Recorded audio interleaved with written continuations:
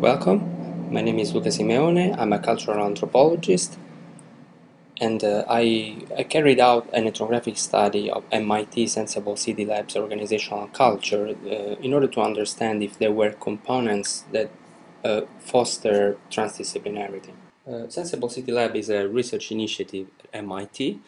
Um, it's located in, in Cambridge um, and it, basically it's a research group that studies the interface between cities, people and technologies and at the same time investigates how the ubiquity of digital devices and the communication networks that augment our uh, cities today are impacting urban living. Um, within this framework, um, Senseable City Lab um, carried out um, several uh, really successful projects um, span from um, architectural interventions to uh, design studies. Senseable City Lab is a really unique place. In seven years, um, roughly, roughly 50 projects have been carried out by 350 collaborators, uh, representing more than 60 different disciplines. Uh, architecture, urban studies and planning, um, uh, engineering, uh, but also, you know, uh, radically different disciplines like theology or game programming, Russian studies, medieval studies, sport, music, space science, and many, many other disciplines. So my research goal was to try to, to map uh, Senseable City Lab's organizational culture behind this uh, uh, radical transdisciplinarity in order to identify key components and best practices organizational culture uh, has three dimensions. Uh, a physical dimension, um, that is, you know, people sharing virtual and physical spaces. There's an organizational dimension, um, that is, you know, the way the lab is structured, so, you know, the relationships among the stakeholders, the rules, policies, processes and practices, management systems. And there's a cultural dimension that is composed by um, the cultural narratives, values, and assumptions behind the organization and the personal biographies of people um, who are part of the lab. Uh, I started trying to map some organizational patterns behind transdisciplinarity. So the first thing that struck me was, you know, the fact that Senseable City Lab um, has a door that is constantly open. There are people uh, flowing in and out. Um, researchers, students, collaborators. At times, um, there have been you know projects where uh, more than 60, 50 uh, different people, different researchers collaborated at the same time. Uh, the other interesting thing is that the lab hosts really um, strange elements at times. Um, it's it's kind of you know a, a, a, a, sort of repository of objects, strange objects coming from um, previous projects, previous and current projects being developed. And so you can find car dashboards, you can find um, bicycle wheels, uh, uh, components of flying robots, uh, all mixed up, uh, uh, all you know, kind of casually distributed in the lab. Um, some of them uh, can be um, identified as boundary objects, so objects that which are both plastic enough to adapt to local needs and constraints of the several parties employing them, but they are robust enough to maintain a common identity across sites, and these, you know, are some important elements for uh, transdisciplinary communication.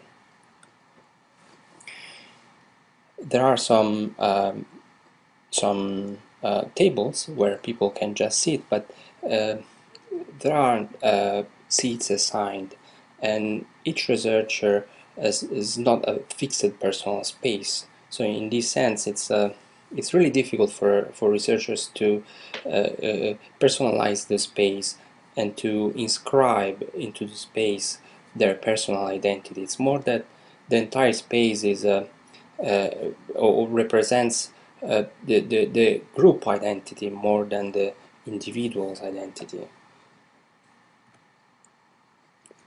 And this is also reflected on some little rituals. In this case, for example, um, the, the, the, big table where all the researchers sit uh, is full of uh, small gifts, you know, left on the table like uh, um, candies or chocolate bars, and these are not usually directed to specific people. They're just, you know, left on the table for the group. So again, you know, these physical exchanges um, act as a symbolic gate uh, towards group transculturation. Of course, there are also private offices, but again, um, the distribution of people across private and public space um, is really casual in a way. One of the researchers once told me, do you want to know a good thing about the lab? If you need an office, you just grab an office. Initially I was a little bit shy, now when I need an office I just go there and occupy it. So again, you know, distribution of people is really flexible. And the core of the organization is composed of uh, teams. Teams are the key units of this uh, organizational order and they basically supplant the traditional bureaucratic pyramid, you know, as the archetypal work group. So Senseable City Lab is composed of small teams acting in a kind of, you know, a really flexible way, a really autonomous way. And also, you know, the, the membership is pretty flexible.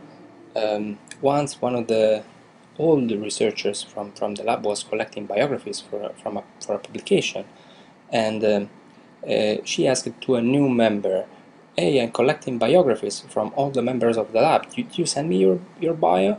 And he answered, should I? Am I part of the lab? I've only been working here for a few weeks. So again, you know, you have this really fluid membership, short part-time engagements, a combination of academics and professionals from industry, flexible roles over time, and you have a really extended geographic distribution.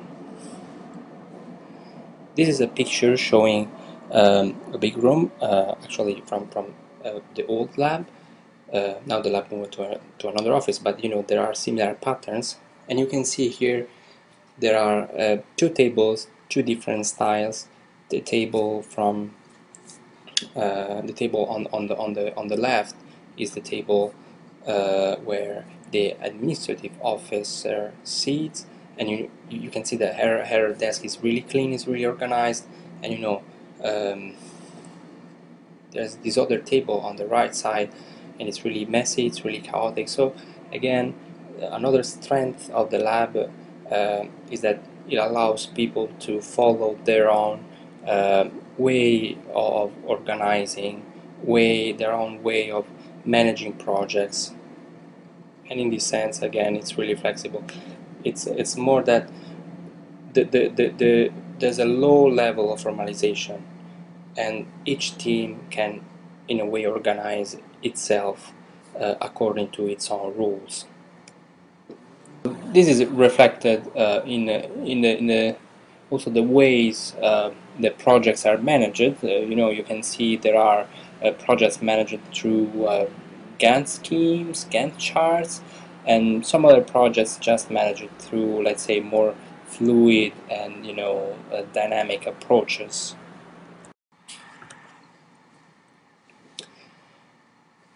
In in, in, a, in a few words um, uh, Senseable City Lab is a hybrid organizational st structure. So again it's a it's positioned as an organic, adaptive, self-organizing structure but you know if you want you can keep your traditional mechanistic components. So you have, you know, that the, the, most of the lab is an organic structure with, you know, a horizontal um, uh, integration, uh, network of authority and control based on knowledge and a task. There's low formalization, so tasks and responsibilities are usually redefined depending on the situation there's a decentralization, so decisions are made by those who knowledge, even if they are, you know, uh, horizontally distributed. Um, and this is, you know, th the way the lab works. But if you wanna keep, you know, uh, uh, uh, within a team a really mechanistic structure, you can do that. And this is, you know, another component that fo fosters transdisciplinarity and different approaches. Of course, uh, um, it's not pure chaos. Um, there are coordination mechanisms. Pecha-Kucha presentations are um, one of these coordination mechanisms. So in the end, there are like uh, quick feedback loops that control self-organizing teams and emergent behaviors. And these quick feedback loops are meetings, Pecha-Kucha presentations, updates via email, and so on. I also sent a survey to current Senseable City Lab members and the survey was mostly targeted to analyze if researchers were happy with the way the lab is structured and organized and uh, as you can see uh, the re re results and the answers from, from the researchers are really positive. So again, this was just you know a short presentation highlighting just some some components, some elements of the study. But I think that you know also reviewing the scientific literature, um, Senseable City Lab follows some organizational culture patterns that uh, favor transdisciplinarity. So there are flexible and permeable boundaries. There are independent and autonomous teams working. Um, a network of authority and control based on knowledge on a task. Um, management processes are usually decentralized and low formalized. And then there's like an experience, exp experiential learning and you know an inquiry and discovery based learning. These are elements that you know are present in um, Senseable City City Lab organizational culture, but at the same time they're also you know um, frequently reviewed in the literature as you know important components. Thank you. Uh, please uh, write me for uh, questions or feedback and we'll be happy to send you the first uh, uh, report of the study.